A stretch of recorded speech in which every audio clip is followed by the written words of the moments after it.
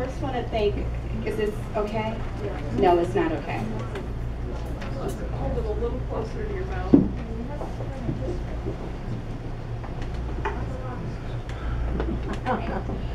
Well, I'm going to do my best, okay?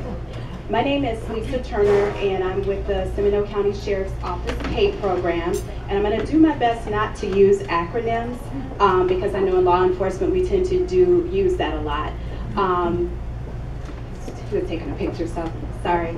Um, PAY stands for Prosecution Alternatives for Youth Program. And so before we get started with the presentation, I'm to give a little bit of background because I'm not sure how many people, and you don't have to raise your hand, um, know about the PAY program. But PAY actually started um, in the 80s, and it actually started as a community-based program, much like the women in this much like the women in this room, there were a group of Seminole County citizens that felt it was important for victims of crimes, particularly when it comes to uh, juveniles, to have a voice, to let the kids know this is how your behaviors affected me. And that's how the PAY program actually started. And um, so it's been around since the 80s. It started as a community-based program, then it went through to the Department of Juvenile Justice, um, and then it actually merged with the Seminole County government once the contract was lost with DJJ. And as of two years ago, we have actually been with the Sheriff's Office, Seminole County Sheriff's Office. So we're very grateful um, to our new sheriff, um, Lemma, believing in our vision for the program, and it merges nicely with what he does because we have a sheriff in Seminole County who is very progressive in his thinking and really wants um, our kids to have an opportunity. So that's just a little bit about the PAY program. I do ask that um, as I'm going through the presentation that you guys be, just kind of go back a little bit. For some, it might have been a long time, but for others, it might not have been so long. Think about when you were and you were an adolescent, um, what life was like prior to social media and cameras. And some of the things maybe you engaged in that you wouldn't want the people at your table to know about today. Or um, my mom is in the house, so there might have been things that I had done that I don't necessarily want my mom, even to this day, to find out. So that's going to be the backdrop of my presentation. I do ask that you hold questions to the end, and the reason I'm kind of standing still because I think I have a good um, aim with the system, and I hope this works for your hearing as well.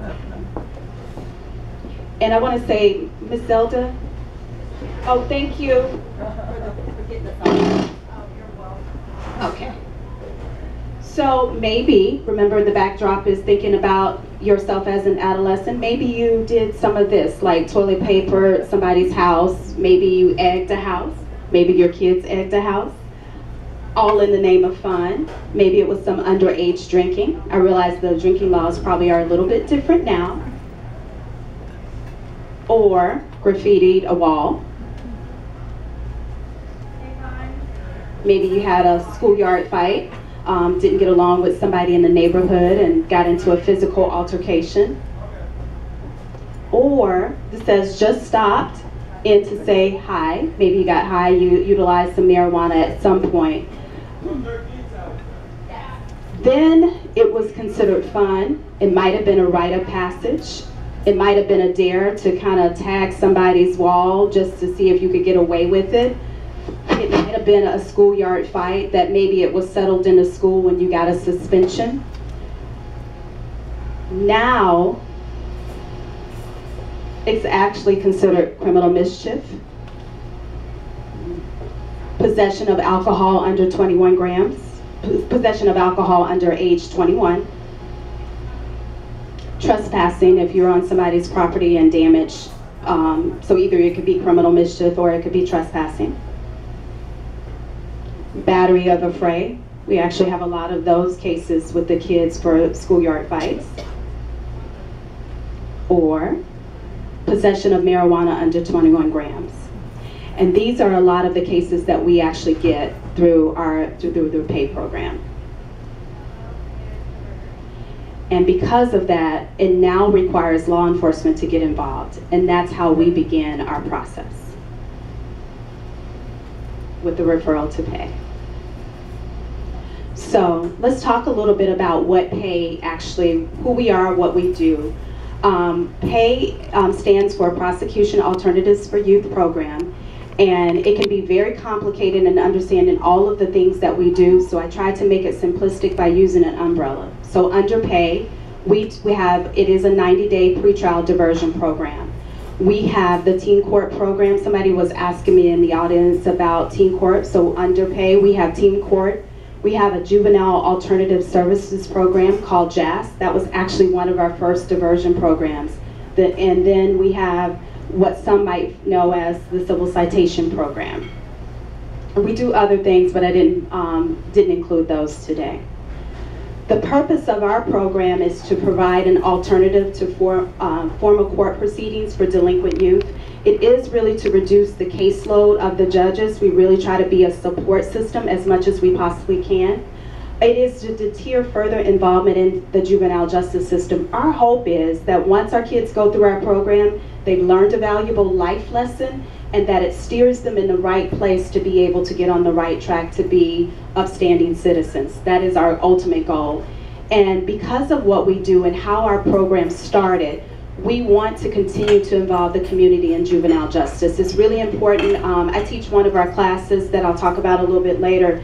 And sometimes I think people might have a misunderstanding about our kids and that might give them a label, a long term. So it is really, uh, we find it very helpful when the community is involved because then they really get to understand what our kids are going through and maybe sometimes even the reasons why they do what they do. Our program objectives, whether it's in teen court or whether it's civil citation or whether it's the JAS, it is to provide swift and immediate consequences. So I've raised teenagers and they don't remember a whole lot um, in a long term. So we want it to be very immediately. So once they get in trouble with the law, we try to turn those cases over and have those kids in and out within 90 days. Because if you wait, how many of you remember six months ago for a detail of something? You just, you don't remember. And it's the same thing with our kids. And for them, 90 days is a really long time. That's almost a lifetime for a lot of our kids.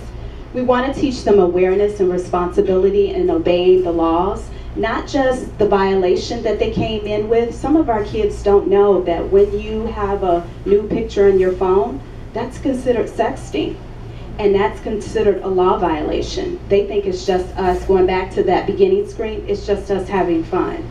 But it's not. It is actually a law violation. So we try to educate them when they come in on um, how they might end up in trouble again if they're not careful. And then we try to assign meaningful sanctions to help them in the long run. Eligibility is really simple. It's either by referral from law enforcement or the state attorney. That's the only two ways that our kids can get in the program. And I have a lot of people say, well, the services you guys provide, the classes that you have, the kids, we really want our kids involved. And we do provide a lot, I'm proud of the work that we do, but because of the referral process, we have to narrow it down to these two referral processes. So programs that you probably are more recognizable, it is our civil citation program. And we actually started this program July 2012. And so it's been about six years, this um, in July it'll be six years we've been doing a civil citation program. And it is for committed non-serious misdemeanor offenses.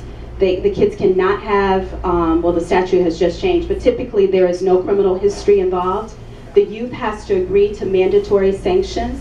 Once it, the juvenile will not have a juvenile record issued at the discretion of law enforcement and the statute that follows that is 985.12 of the Florida statutes. So um, a lot of people have a lot of questions about the civil citation program. It is one of the programs that I think is, I'm glad that they came out with it because it allows our kids to make that one-time mistake and it doesn't affect them for the rest of their lives. And that is the beauty of the civil citation program. Um, we already had a process in place that has made it very easy for the PAY program to um, continue to roll out the civil citation program because remember we started in the 80s so we already had a framework of how we conducted business. We also had a great relationship and still do with our state attorney, with our sheriff's office, and so we work so closely together. It just made sense that the PAY program would do the civil citation program. So the other program that you guys are probably familiar with is Teen Court. And it was established in 1995 and it was actually by a Byrne grant. And then Seminole County government decided it was a worthwhile program to continue. So we um, do teen court every night on Tuesday evenings up at the Seminole County Sheriff's Office um, Juvenile Justice Center building.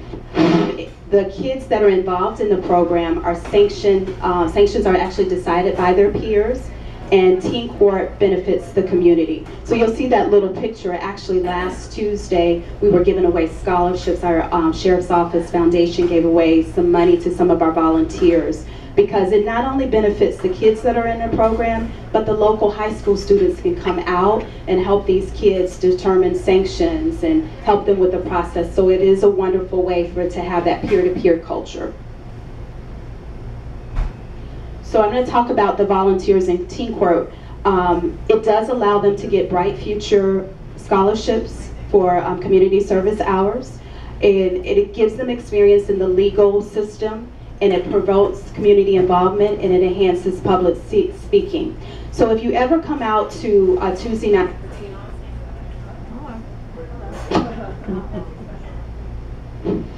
okay, see if I change my position. All right.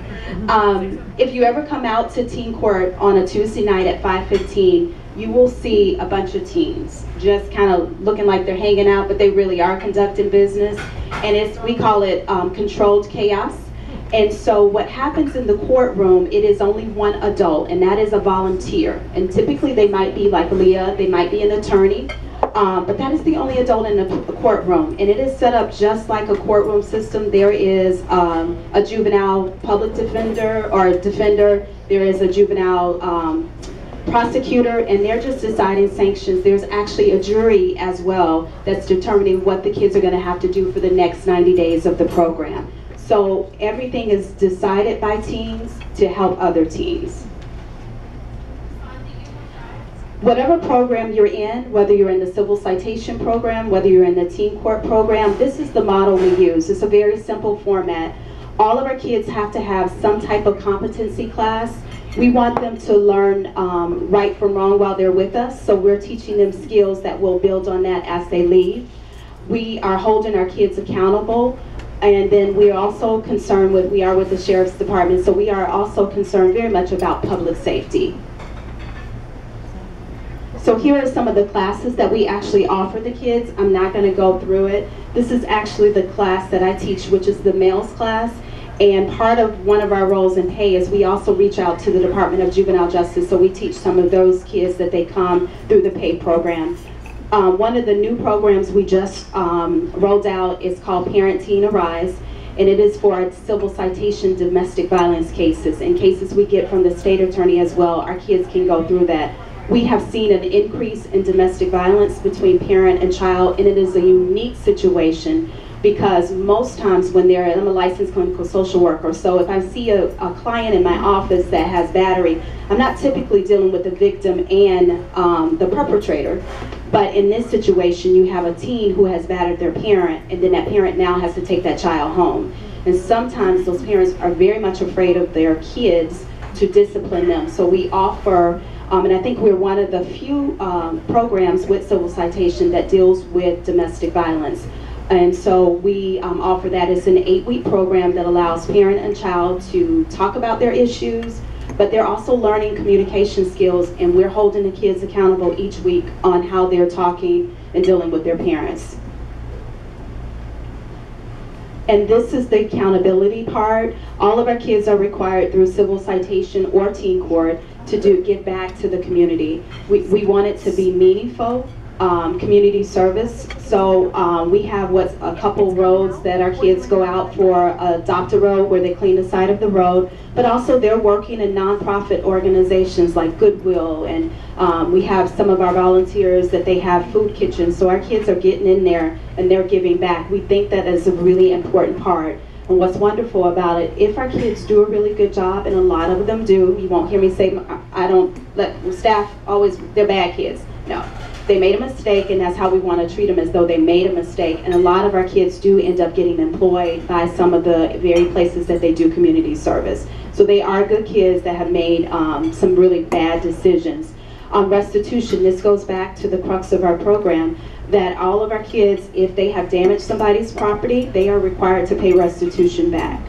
And um, we give them time. Sometimes it's not always paid off in 90 days because they have to work with mom or get a job. And sometimes the parents end up having to help a little bit. But we want to make sure that the victims in this process is made whole. And we want the kids to have a real understanding of how their behaviors affected someone else. And then um, under the accountability is also the teen court because our kids that are actually in other programs, they have to volunteer, well they don't volunteer, we voluntold them, they have to um, participate in teen court as a juror to help decide sanctions. So here are public sa safety requirements. Um, juveniles are required to follow curfew checks, um, as far as we go out to the homes in the evening times, or staff, they go out to the homes. Deputies might show up at 8.30 to say, hey, are you meeting at curfew? Um, but sometimes it's also just to see how they're doing. It's not just because we're thinking that we're not out to just catch them doing things not, not correct. They have to call in uh, weekly.